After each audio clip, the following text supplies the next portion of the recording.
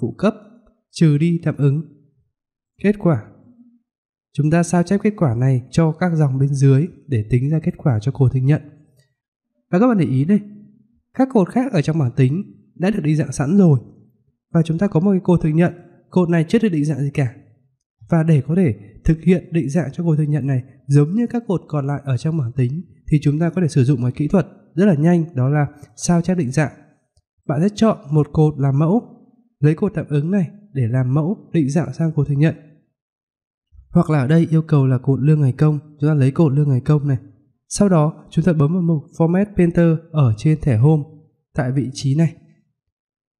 Thì khi bấm vào Format Painter, các bạn để ý là cái biểu tượng con trỏ chuột bây giờ có thêm hình biểu tượng cái chổi sơn ở bên cạnh và chúng ta chỉ việc đặt vào vị trí cột y tại bắt đầu từ ô y2 mình bấm vào đây đó. thì toàn bộ cột đương ngày công này sẽ sao chép toàn bộ phần định dạng sang cột y. Và chúng ta đã có được cột y định dạng giống y hệt như cột đương ngày công rồi. Rất là nhanh, phải không nào? Thì cảm ơn các bạn đã chú ý theo dõi. Hẹn gặp lại các bạn trong những bài học sau.